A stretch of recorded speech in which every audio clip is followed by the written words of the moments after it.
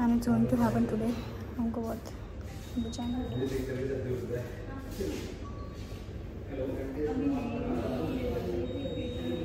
उसको ठंडी लगने लगा। पता नहीं जब से सुना कि आज ऑपरेशन होगा तो वो तब से काँप रहा है। और हम पूछ रहे क्या हुआ तो कह रहा ठंडी लग रहा है।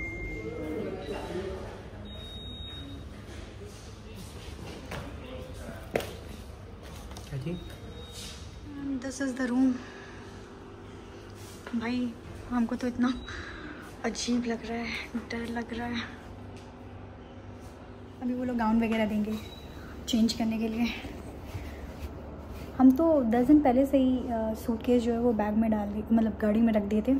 एलएफटी जो था वो मेरा काफ़ी डिरेंज था और फिर जब मैंने कल टेस्ट कराया तो मेरा बायोलेसर काफ़ी बढ़ा हुआ था। फिर डॉक्टर कहे कि, फिर रेस्ट नहीं लेते हैं। And already I am thirty seven weeks three days तो ये तो मतलब ऑन पेपर दिख रहा है, लेकिन जैसे कि मतलब स्कैन्स में जो आता था उस हिसाब से I am four days ahead मतलब थर्टी एट वीक्स ऐसा समझ में आ रहा है। They were like let's not take risk operate करते हैं। उन्होंने मुझसे पूछा कि तुमको लेबर के लिए ट्राई करना है। हमको हमको नहीं, हमको ट्राई नहीं करना है। आप सी सेक्शन कर दो, क्योंकि काफ़ी हेड ऊपर है। तो अगर हम ट्राई भी करते तो इट्स नॉट दैट ईजी और फ्लोटिंग हेड है। तो इतना आसान नहीं होता। तो हमको लगा कि नहीं सी सेक्शन के लिए चले जाते हैं। बाद में यार इतना लेबर पेन सह करके फिर सी सेक्शन के लिए भी जाना पड़े तो फिर हमको लगा नहीं लेट्स डू सी सेक्शन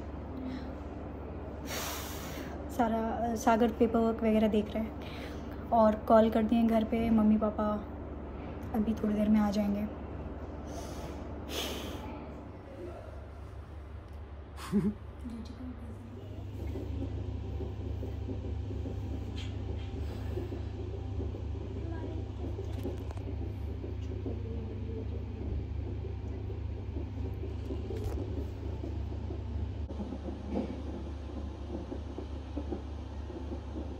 इस टाइम पे बेबी मूव भी बहुत कर रहा है। हम एन टेस्ट के लिए आते थे ना मूव ही नहीं करता था।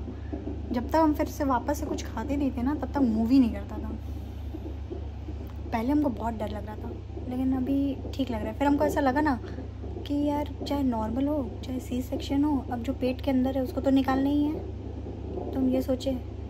फिर हमको लगा कि डर के क्या फ़ायदा। जब बोली कि एडमिट नहीं, वो हमसे पूछा गया था कि तुमको आज कराना है या कल कराना है। हम बोले, आज ही कर दो। सुबह सुबह हम आए थे हॉस्पिटल हम क्या आज ही कर दीजिए। हेलो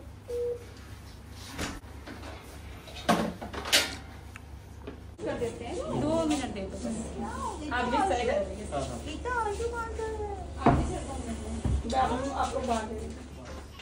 शांति शांति शांति।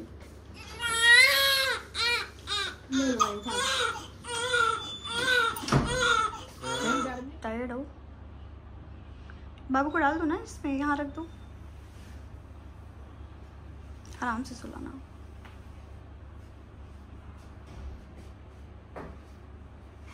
कैसे भी सुला दो सागर उल्टा सीधा मत देखो।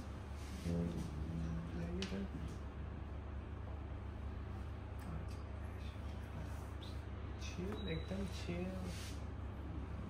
वही रहने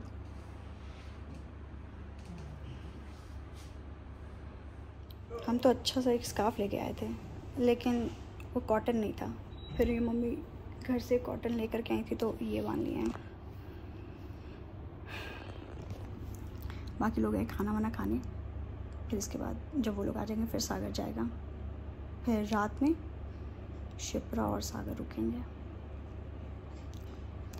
प्यास लगी है भयंकर।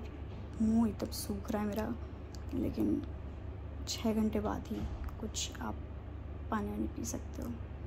बैठो बैठो उसको समझ नहीं आया तो क्या करे क्या रिएक्शन दें? हाँ, तो, तो, ए, वो दीदी आई है जरा देख लो। दीदी आई है? अब अदीरा का रट लग गया है कि इंडिया चलो इंडिया चलो। क्यों चिल्ला रही है? डर जाएगा बेबी डर जाएगा।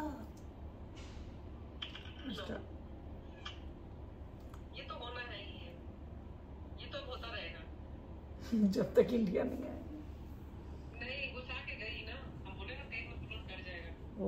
ओफो बहुत मुसीबत है भाई।